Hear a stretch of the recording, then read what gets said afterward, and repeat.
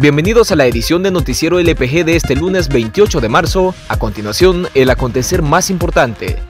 Durante la madrugada del domingo, los diputados de mayoría oficialista de la Asamblea Legislativa aprobaron con 67 votos un estado de excepción que durará 30 días. La medida se toma a partir de la petición del gobierno por el alza de homicidios. Entre el viernes y sábado, 62 personas fueron asesinadas a lo largo del territorio salvadoreño, exceptuando los departamentos de Cabañas y Morazán. Durante 30 días quedan suspendidas las garantías constitucionales relacionadas a la libre asociación, el derecho a la defensa y también permite intervenir telecomunicaciones y correspondencia. El 26 de marzo, según estimaciones de la PNC, se convirtió en el día más violento que ha vivido El Salvador en las últimas dos décadas. Opiniones encontradas generó entre los diputados de la Asamblea Legislativa el recién aprobado estado de excepción. La diputada del FMLN, Anabel Belloso, señaló que los cierres focalizados instaurados por el gobierno no están contemplados en el régimen de excepción aprobado en el Pleno la madrugada del domingo y que al igual que el anterior estado de excepción del 2020, se presta a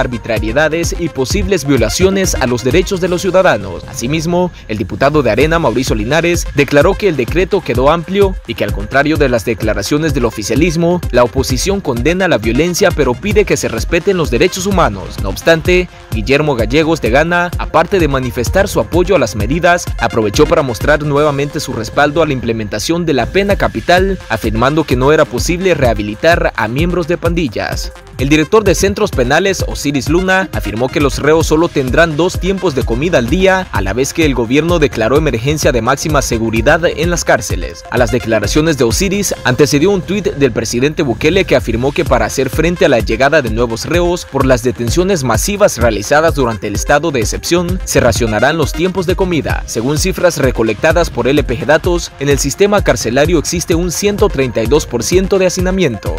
Operativos policiales y militares fueron desplegados en los perímetros de varias colonias consideradas de alto índice delincuencial en el área metropolitana de San Salvador luego del repunte de violencia. Colonias como San José del Pino en Santa Tecla fueron acordonadas por barricadas donde los soldados controlaban la circulación e impedían la salida de habitantes, pese a que esta medida no está contemplada en el régimen de excepción aprobado el domingo. Además, registraban sus pertenencias personales, buscaban tatuajes alusivos a pandillas y documentos de identificación. Otros monitoreos se reportaron en colonias como Las Margaritas, Soyapango, Ibu de San Salvador, La Anémona en San Martín, entre otras.